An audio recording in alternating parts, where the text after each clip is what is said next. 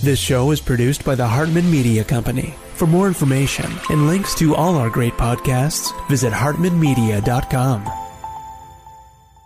Hey, buddy, just wanted to say thanks again for the awesome job you did Friday morning. That was great. Just uh, started out our day perfectly and put a cap on our event. I just thought it was awesome, man. You did a great job. But even more than that, just appreciate your spirit in the room, man. Seem like you're uh, just more alive and just more enthusiastic than ever about things you're working on and things the family's doing. So I just want you to know I appreciate you, man. Travel safe. Welcome to the Creating Wealth Show with Jason Hartman. You're about to learn a new slant on investing, some exciting techniques, and fresh new approaches to the world's most historically proven asset class that will enable you to create more wealth and freedom than you ever thought possible. Jason is a genuine self made multimillionaire who's actually been there and done it. He's a successful investor, lender, developer, and entrepreneur who's owned properties in 11 states, had hundreds of tenants, and been involved in thousands of real estate transactions. This program will help you follow in Jason's footsteps on the road to your financial independence day. You really can do it. And now, here's your host, Jason Hartman, with the complete solution for real estate investors. Welcome to episode 1945. We have got a returning guest back on the show today, and that is none other than the Fed guy, Joseph Wang is back with us, sharing some fantastic insights. He'll be here on the next episode as well, because this is a long discussion. but there's some really good stuff, some real gems and nuggets in here as to understanding the way monetary policy impacts you as investors and what it means to your overall financial health and your financial future, most importantly. Two things to say before we get to the interview with Joseph Wang, and that is number one, housing inventory. Just wanted to share this with you quickly. I won't even show you the chart on it, you've seen it so many times, but I wanted to give you the latest numbers. And the latest numbers are 490,000.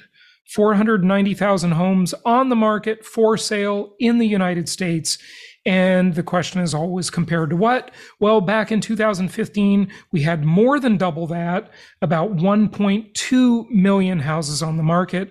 And at the lowest point, compared to what, right? When the market was absolutely psychotic, crazy, you couldn't buy a house no matter what.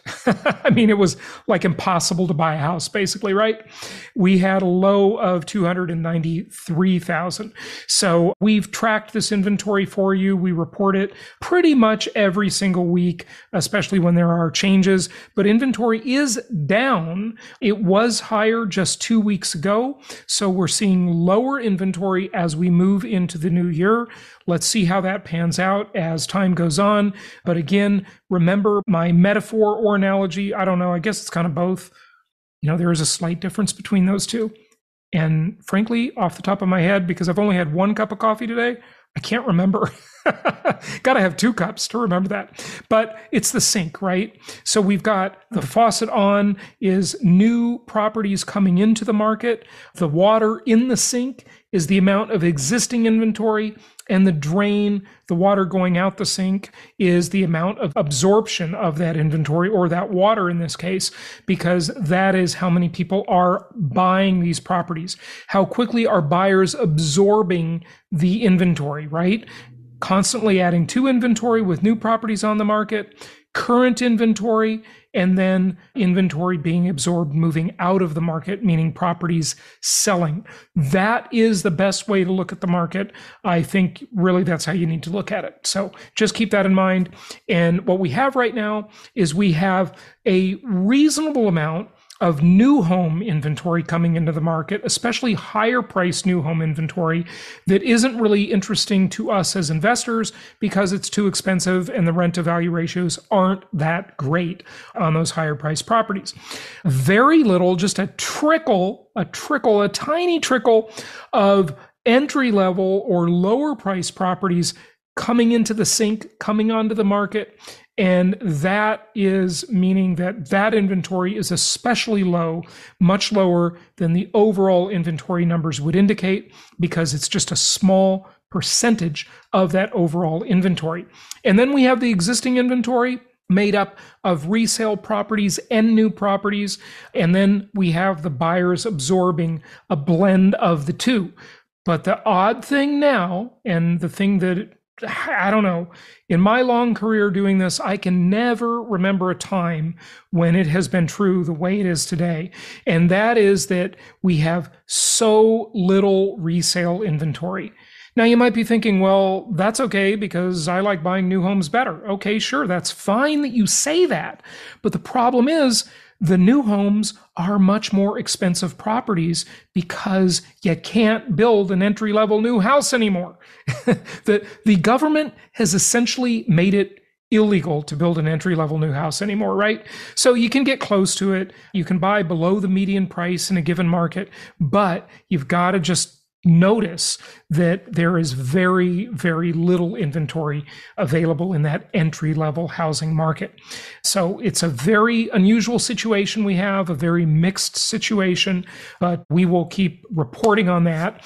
And, you know, I used to always say, and I know you like this saying because many of you have repeated it back to me you email me and you you repeat the saying back in your email it says i love your saying jason it's an amazing time to be alive.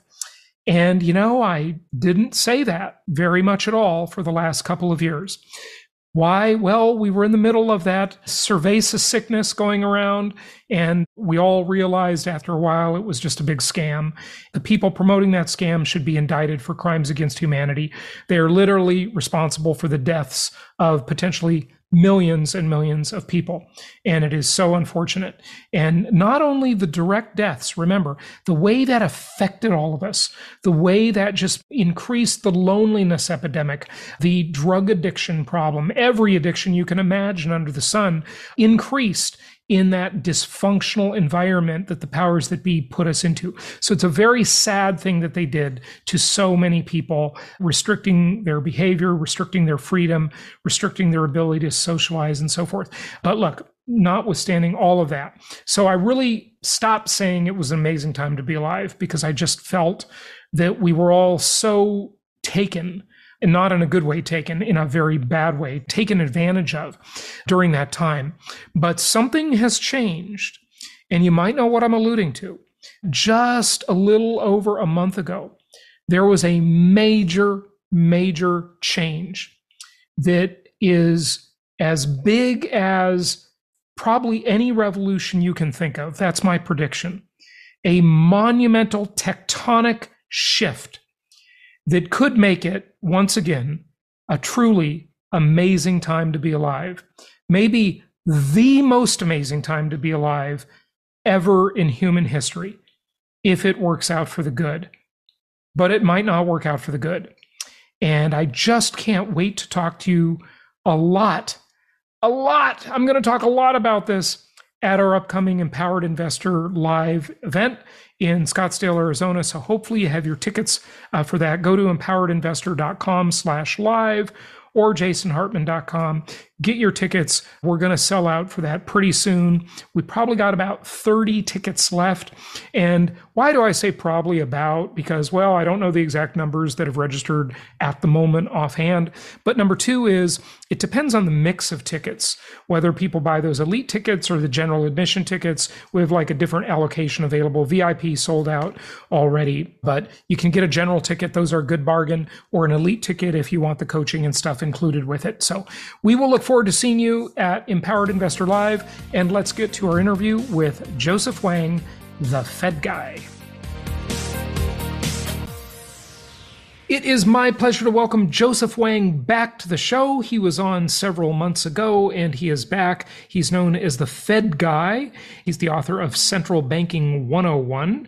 And the Fed is arguably the biggest investor in the world. I don't know, maybe, maybe not. I think they are. And Joseph used to be a senior trader at their trading desk. So he had access to a lot of data and just a lot of interesting insights on things. Welcome back. Hey, thanks so much for inviting me, Jason. It's a pleasure to be here. It's good to have you. So, are they the biggest investor in the world? Yeah, yeah, they are. They have, yeah. uh, you know, let's say say seven trillion dollars in assets. You can think of it. Some people describe them as the world's largest investment fund because Yeah. they basically print money and they buy assets, and they're ginormous. Yeah, And- yeah, it's- That's it's a bit different though because if you're the Fed, you're not trying to make money, and that really changes everything. Um, because if you're not trying to make money and just trying to shape um, policy, then you you buy no matter what the price is. So why would you say they're not trying to make money? I mean, when the Fed in, deploys its printed capital to uh, to invest, why wouldn't it want to have those investments grow? Yeah. So because you're you're doing something different when you're the Fed. So if you're a private investor like me and you, we're buying something hoping that in the future it will appreciate and then we'll we'll make a little bit more money off that that. But when you're at the Fed, you're not trying to make money. You don't need to make money. You can just print all you want. What you're trying to do is influence interest rates and thus ultimately influence economic conditions. So the Fed is in charge of, um, let's say, inflation. Its its goal is to have full employment and stable prices the way it goes about doing that is by changing interest rates, by influencing interest rates. And the way it goes about influencing interest rates is going out and buying a lot of securities. Now, if you go out and buy, let's say, 5 trillion treasury securities, it sounds reasonable that the yield for those for those treasury securities will go lower. So you're Right. influencing interest rates, hoping to influence the real economy. You're not trying to make money. That's basically how they do. That's how they operate. So, a couple of things in your bio I just want to ask you about, and some of these may be very elementary, but I just want to make sure that everybody can kind of understand this. Okay. So, you know, it says Joseph spent five years studying the plumbing of the financial system as a senior trader on the open markets desk. The desk sits at the center of the dollar system as its ultimate and infinite provider of dollars. So, tell us about the desk, if you will how many people are at that desk at the Fed? Uh, you know, you you worked there, and how how many other traders were there? Yeah, so the desk is the Fed's trading desk. So the way that the Fed is organized is that it you have the Washington D.C., which is the Board of Governors, which is the center of power for the Federal Reserve System, but you also have all these different reserve banks, um, Reserve Bank in New York, Reserve Bank in Chicago, and so forth. Yeah, But 12, Fed- 12 of them, right? Yeah. So if the Fed wants to go and actually do something the markets, it asks its trading desk to do that. There's only one trading desk and it sits in New York. So when you're thinking about the Fed going out and doing quantitative easing, buying trillions of dollars, that's done by the desk. If you're thinking about the Fed giving emergency loans to foreign central banks through the FX swap lines, that's also done by the desk. So since basically all this is done by the desk, I think of the desk as basically where the money printer resides. Now they don't decide how much they print or who they lend to. That comes from DC. But the actual implementation of actually printing and lending, that's done by people on the open markets desk. The desk probably has a, uh, I don't know, probably a hundred people. I, Oh, wow. so it's pretty big. So it's Yeah. not just we we had so we had the head office in New York, but also a satellite office in Chicago. So uh, what happened was that in New York City there was a huge hurricane, um, let's say ten years ago, and that basically flooded all of downtown Manhattan. And then the Fed realized, you know, the world might might not like it if the Fed went offline and we couldn't be doing all these things in the markets. So we just set up a satellite office in Chicago, kind of as a way of insurance. Instead of any, in case anything happened to the main office in New York, we'd also have a satellite office in Chicago. So Jo- you have- Joseph, I have to say, I beg to differ with you on that one. Some people might really like it if the Fed went offline. no, you wouldn't. The stock market would go to zero or, or something like that. It's Yeah. it's not good, and that would really hurt interest rates too, and everything like that. But the desk also does something else, and that is that they act as the eyes and ears of the Fed. So, for example, let's say you're Jay Powell or someone sitting on the FOMC, and you you see the stock market crashing, or you see interest rates wobbling around, and you want to figure out well, what's driving this. So when that happens, what you do is you ask the open markets desk to go and find out for you.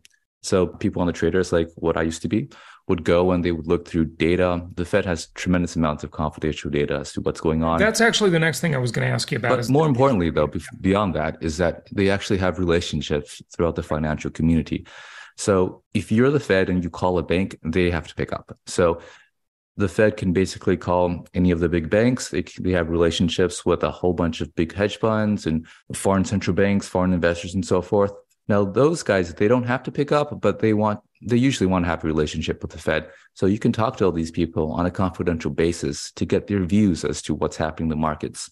Then you take that and you can basically report on up to, to, to let the Fed know, more important people know what's going on. So it's a really, really good way to understand is to, it's kind of like a peek behind the curtain to help people understand just what's going on in the financial system and how it works together looking on in your bio and I wanted to ask you about the data, right? So it says the desk has access to virtually all regulatory and financial data, as well as open lines of communication with all major market participants, right? Which you just yep. alluded to all of that. When we talk about the data that the Fed has access to, I mean, all of us have access to just a, a monumental amount of economic reports what don't we know? I, I mean, maybe that'd be an impossible question to answer, but like, what mm-hmm. are there some sort of broad things that just the general public does not know or have access to? I mean, yeah, we, we're not privy to those conversations with the banks and the hedge fund managers, like you mentioned, but is there, you know, sort of like privately published data of some sort? I'm sure there is.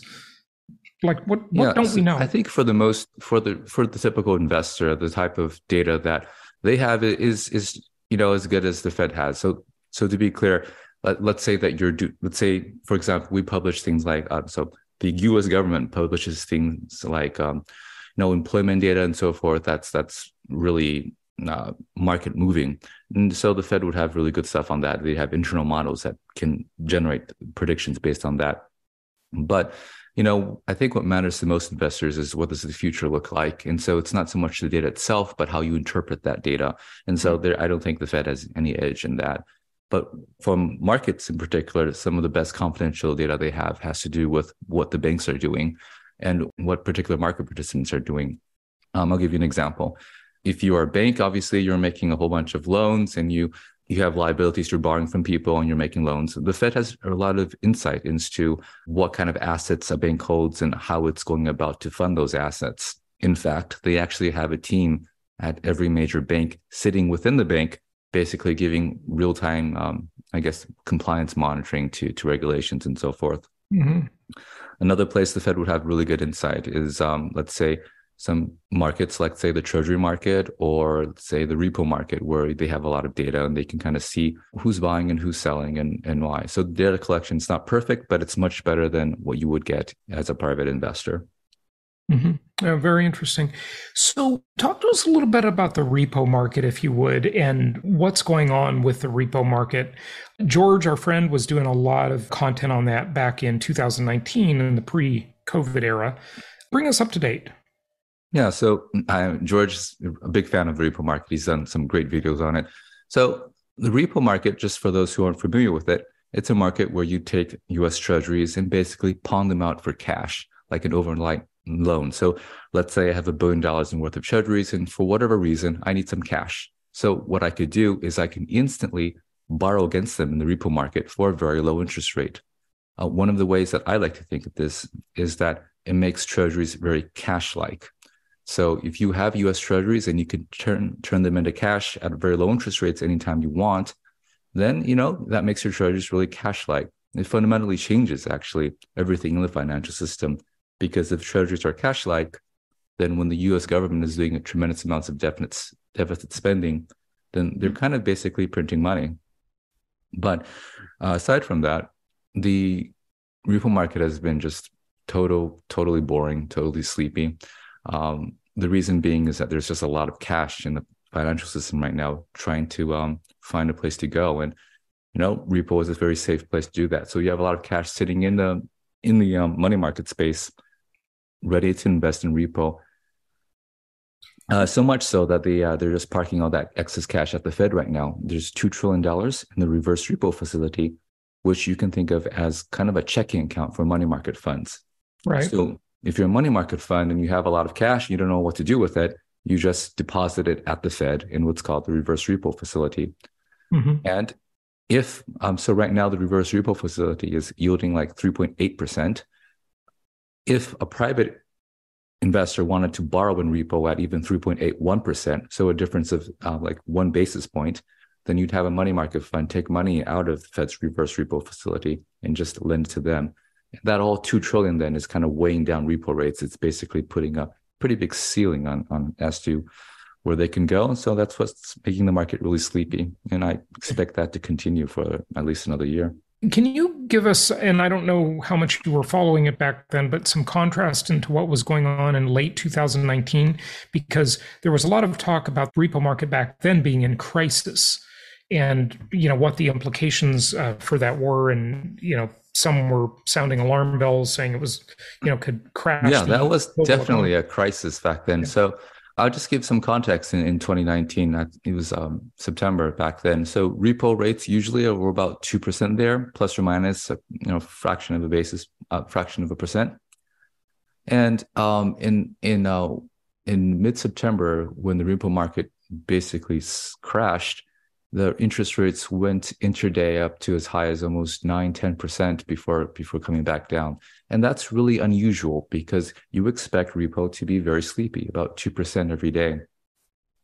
It can be a crisis because a lot of people are basically um, borrowing in repo and buying us treasuries. So you know basically classic uh, borrow short lend long. So and that's fine, except that one day, if your funding costs go way high, I mean, if you're a real estate investor, you can think of it as being on a variable mortgage, and suddenly your variable mortgage rates spike, and then whoa, you can't afford it anymore. You have to fire sell your real estate assets. Well, welcome perhaps. to 2005.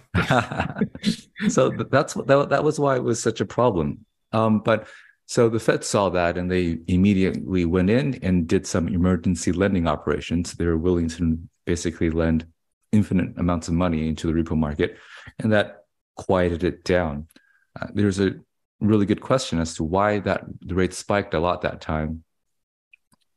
The reason, from my perspective, is that basically you had a lot of people who were hedge funds who were borrowing the repo market. They were borrowing a lot, uh, steadily increasing. But the lenders in that market, they were the commercial banks, and they were slowly uh, running out of money to lend, so to speak, because of quantitative tightening. And so when you have tremendous amounts of demand that's growing met with a decreasing supply of funds, then sometimes accidents happen. You hit an air pocket, as they would say in markets, and mm-hmm. rates spike. So I don't think the repo market could spike this time around. That's basically impossible because you have $2 trillion left in the reverse repo facility. But what you could see a spike, though, is just treasury yields in general. And maybe we've kind of seen some of that um, earlier in the year and in the UK as well, when you had the UK um, gilt market basically just gilt yield spike higher in a span of a mm-hmm. day. Okay, so in talking about your book a little bit, I like how you divide it up. You talk about types of money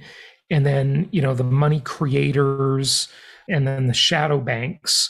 And, you know, I just like to, you know, if you can take people through kind of these three sort of broad categories and how that plumbing works, if if you would, you know, the, the the types of money, you know, that that's an important thing to consider. Whether you talk about, you know, the bank reserves, deposits, treasuries, you know, cash, yeah. fiat money.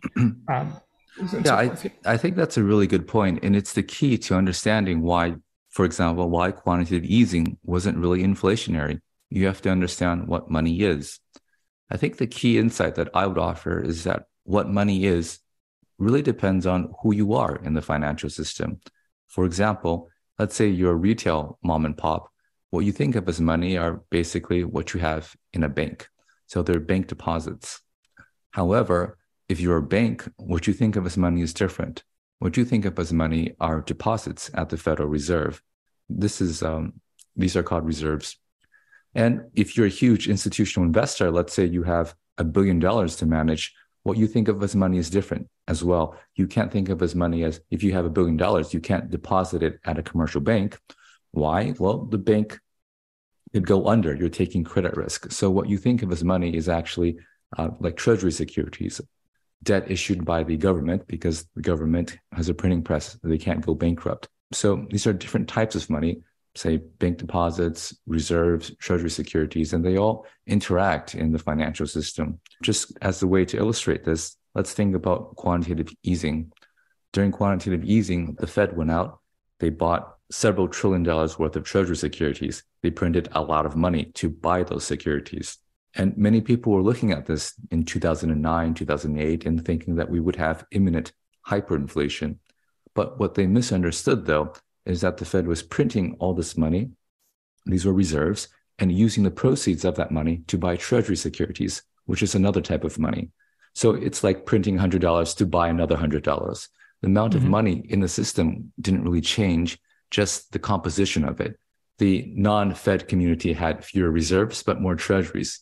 It's a change in composition rather than quantity. And because of that, there really wasn't any inflation stemming from this massive printing.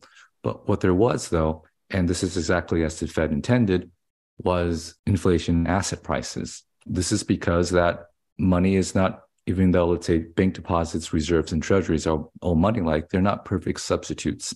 Let's go back. If you're a huge investor, suddenly, instead of having, let's say, a billion dollars in treasuries, you ended up with a billion dollars in bank deposits. Bank deposits give you 0% yield and they have credit risk. You can't take credit risk or you need a little bit more yield. Maybe you go out and you buy Apple bonds, or maybe you go out and you buy uh, the S&P. So you have this brief portfolio reshuffling that makes asset prices go higher. And of course, makes real estate go higher as well, because on margins, some people shift out and they buy real assets. I'm almost surprised that you don't have listed here credit as a type of money. If you're a commercial bank, now this is something that many people don't realize is that if you're a commercial bank, when you're making loan, when you're creating credit, you're also creating money. So if I'm an investor and I go to a bank and I ask for a loan, then what the bank does is that they basically create money out of thin air. It's based on credit, basically. So if you look at the bank's balance sheet, and I know this is a real estate investor heavy channel, so many people are familiar with the balance sheet concept. If I go to a bank and ask for a loan for a million dollars, what happens on the bank's balance sheet? The bank's balance sheet actually creates an asset loan to me out of thin air and then goes to its liabilities and creates a million dollars in deposits to my checking account. It expands its balance sheet and creates deposits out of thin air. So then when I log into the bank's accounting system, I can see a million dollars has been basically added to my account digitally. So that is credit based money, and it's what underlies the vast majority of what we think of as money. So if you look at the financial system, almost, uh, let's say, the vast majority of money, things that we think of as money, are bank deposits, and that's backed by credit, a loan that the bank made. In consideration how money is created out of thin air and so forth, you know, there there's a whole group of people that think deficits don't matter, debt doesn't matter. Modern monetary theory or MMT is the answer, right? We've got to stop worrying about all this stuff and just spend as much money as we want. Is that actually possible? I, I, know my you know that was that was a reasonable way of thinking about the world before 2021 and uh, mm. to be mm. honest those people those mmt people they, their their understanding of the world isn't incorrect it's just that they're they're not being honest in how they implement it. So, at a Tell high level, what the MMT people are saying is that, well, the government really isn't constrained by its deficit. Right. It can print and spend money. Its only real constraint is real resources. Let's say that, for example, the government prints a billion dollars and spends it. Now, if you have factories that are not at capacity, then you can go and you can spend that billions of billion dollars, and the factory will produce more stuff, but there won't be inflation because they were under they were operating at below capacity. And that was kind of the world that we were living in before 2020. So we had a world where uh, there's a whole lot of excess capacity in the world. So I mean, the MMT people were saying things like basically you can print and spend, and all that extra money will go and just make uh, the factories work up to capacity, it wouldn't cause inflation. And, you know, because the factories are producing more, you'd actually have more economic growth. And I, I don't think they were wrong in that. Where they are dishonest, though, is that they didn't follow their own advice. What they said was the real constraint to, any, to money printing is the capacity of the economy to produce, which is to say inflation. Now, going back to that example that I just mentioned, let's say you printed a billion dollars and you went and buy stuff, went to go and buy stuff. But the factories, they were already operating at excess capacity. So you're basically trying to buy stuff from a factory. The factory can't produce anymore. So prices go higher. You get inflation. Now, in this world, what the MMT people had said was that, well, now we're at capacity, so we shouldn't be spending anymore. But they're not going to say that, obviously. They're going to say that, well, we got to spend even more so we can build new factories. So they're basically dishonest people that um, will say anything to get the government to spend money. So yeah, they, uh, it's not that their theory is is wrong of how the world works. It's just that they're not implementing it and, I, um, I, just think it, it's kind of like living in fantasy land. How can that work? I mean, you know, capital formation comes from actual work and labor right. and or thinking which is also work and labor. And you form capital and you deploy capital and you invest it and it creates wealth and that's how a society and an economy grow. To me that's just common sense. But what's interesting about the mmt crowd and also the history of the federal reserve in parallel with the irs of course, we all know the Federal Reserve was created, and all like almost immediately after that, the IRS was created. Because when you create money out of thin air, if you have the ability to loan it to foreign countries and the ability to tax your own population and require that they pay you in the same money you create and require that the debts loaned to foreign countries be repaid in the same dollar that you created, then you create demand for your own currency. That seems like an awfully awesome ecosystem for, you know, I wish I could do that because that's a great trick. That's where the MMT crowd kind of does make sense. I, I, mean, I'm not saying that system is right. I'm just saying it works, you know? Yeah, yeah. So one of the ways that they would talk about uh, their prescriptions for high inflation, for example, is to raise taxes because what happens then uh, you're basically the government is taking in money and reducing the amount of money in, in the economy by taxes. And so that slows down inflation. I think that that actually would work. Let's say, for example, we have high inflation today. What if the government raised tax rates to 80%? Then everyone will suddenly have a lot less money and it'll be sent to the government who would uh, assuming they just assuming they're paying down their deficit. So then there's less spending power that people have, then inflation will come down because you just don't have enough money to spend. Um, but in practice, that's never how it operates. It's hard to cut taxes. So yeah, right. Taxes never go down; they only go up overall. It seems. Yeah, like. yeah, yeah. Uh, we we've had a good run in the U.S. for the past two decades. I mean, they were really higher earlier, and but I think yeah. we're, we are probably moving into a world where taxes are are going to be higher simply because the politics behind it. We're um, just uh, more populist, I guess. So it's yeah. more. Well, just speaking to that, and I don't want to get off on a tangent on this because I, I, want to ask you about what's to come and what your thoughts are for the future. That's what's really what people want to know. But this is a great education. But you know, before the Reagan Tax Act, I mean, of course, marginal tax rates were dramatically higher, but you know, there were all kinds of ways you could reduce your effective tax bill back then. And, you know, that's what spurred all this investing into crazy things that don't work, like windmills. And imagine that we've got windmills back again. you know, you know. But, but, you're saving the economy. That's priceless. It's worth yes, everything. you're saving the environment. Mm, yes, yes, sure. Even though those are huge environmental polluters, but that's exactly takes tremendous amounts of resources, oh, iron oh, and stuff like that. It's yeah. just it's just Crazy. silly. This is all silliness, you know. It, it's just silly. Okay, so just quickly though, before we get to predictions about what's coming, or at least thoughts on what's coming, the Fed, the commercial banks, and the Treasury, those are the money creators. How do they work together? Yeah, when they work together, they're they're freely all forms of money are freely convertible with each other. So if I have a bank deposit, I can easily go and I can buy a treasury, or if I have a bank deposit, I can easily go to a bank and ask the bank to um, convert that to currency. So a piece of paper. So when that happens, you know, money is money and everyone, if everything works well. But if you have a time when these different types of money can't be converted, then you can easily lead to panic and that leads to a lot of disruption. Now, I'll give a couple examples. So the classic panic, of course, is if you have a bank deposit, but you can't convert that to currency.